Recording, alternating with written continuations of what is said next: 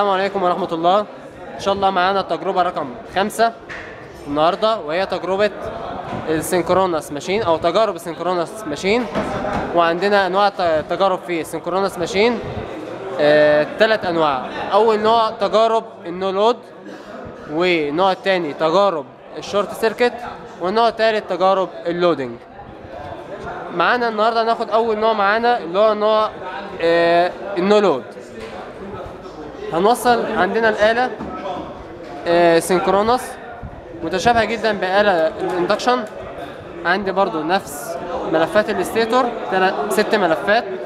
ثلاث ملفات منهم بوصلهم مع بعض بكسرهم على بعض أو بعمل لهم شرط على بعض عشان بوصل آلة star والثلاث ملفات عندي التانيين هم اللي أدخل بيهم على التجربة. الاختلاف عندي إن ملفات ال rotor بوصلها بمصدر DC دول ملفات ال rotor وبوصلهم بمصدر DC وعندي ال prime mover برضو عبارة عن shunt machine. هيبقى أنا هشغل الآلة ال synchronous هيكون عندي synchronous generator يبقى هيكون عندي ال prime mover عبارة عن shunt motor. ونبدأ إن شاء الله.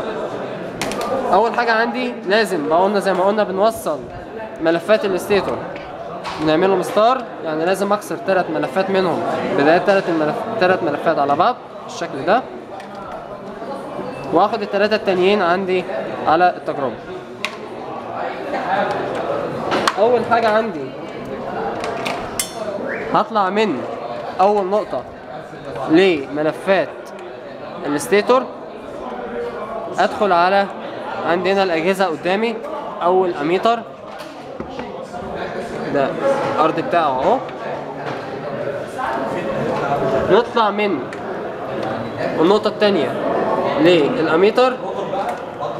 النقطة دي. اقفل الدايرة توالي برضو زي ما إحنا متعودين. وده جهاز الوات ميتر عندي. ملفات التيار عندي. دي- دول ملفات التيار ودول ملفات الجهد أدخل على أول نقطة لملفات التيار. واطلع من ملفات التيار في ال watt meter. أدخل عليه بقى. أنا عندي التجربة هنا بنقول no load no load يعني أطراف ال stator عندي مفتوحة. مفتوحة يعني بوصلها على على فولتمترات فولتميتر طبعا مقاومته كبيرة جدا فهي هيديني نفس النتيجة إن إيه؟ الآلة تكون مفتوحة. أدخل على عندي الفولتميتر الأول أهو.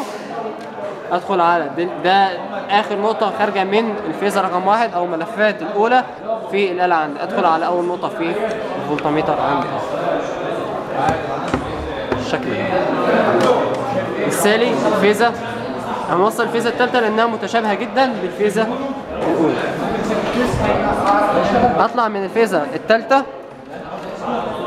على الأميتر ونراعي برضو إن يكون السيكونس ثابت في الشغل كله. أنا دخلت في النقطة دي هنا يبقى أدخل في النقطة ديت هنا برضه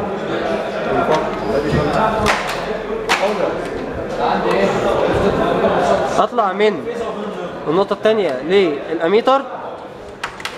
على ملف التيار برضو في ال watt meter الثاني عندي. ودي ملفات التيار. واطلع من النقطة التانية لملف التيار.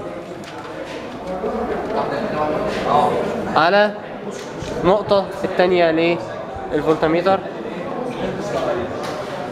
بالشكل ده.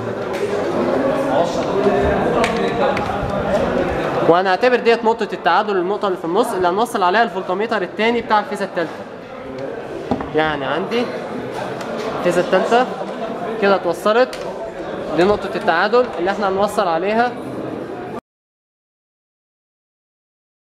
هطلع عندي قلنا دي هنعتبرها نقطة التعادل. يعني إيه نقطة التعادل؟ يعني هطلع ادخل منها ادخل فيها على الفولتميتر التاني بالشكل ده.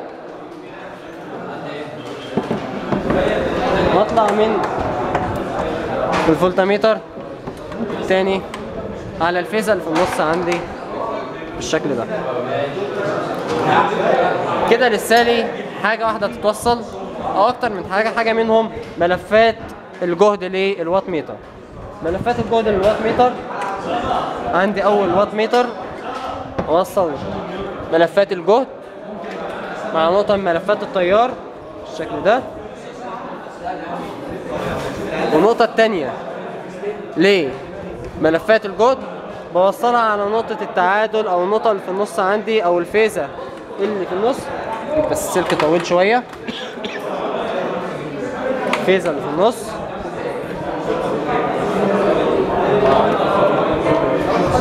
عندي أوصلها على النقطة اللي في النص هنا. في الآلة هي أقرب لي وأسهل لي. بالشكل ده. كذلك الوات ميتر التاني. يتوصل بنفس الطريقة نقطة من ملف التيار مع نقطة من ملف الجهد وآخد النقطة التانية بالشكل ده على نقطة التعادل اللي في النص عندي. وبكده يكون ال synchronous generator اتوصل. بالتالي بس ال prime mover اللي هو هيتوصل shunt ولسه كمان آه، قبل ما ننسى إن إحنا لسه ما وصلناش أصلا آه، ملفات ال rotor عندي بتاعه ال synchronous machine أو ال synchronous generator أوصلها الأول عشان ما ننساش. أوصلها ب DC source أطلع أدخل من النقطة الأولى لملفات ال rotor ممكن أوصلها على اميتر أو مش لازم. أنا عندي مش لا... مش هوصلها على اميتر طبعا عشان وفرة الأجهزة وكده. أوصلها على أول نقطة في DC source النقطة الثانية ليه؟ النقطة الثانية لل DC source بالشكل ده. بالتالي توصيل الشنط ماشين.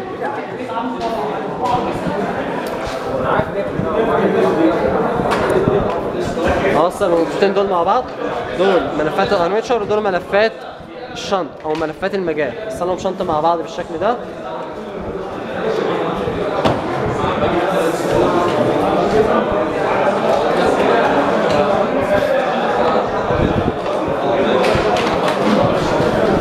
أطلع من النقطة الأولى ليه؟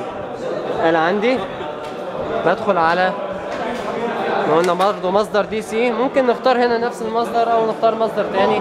أنا هختار نفس المصدر بالشكل ده. وارجع من النقطة التانية ل DC source على النقطة التانية عندي في الآلة.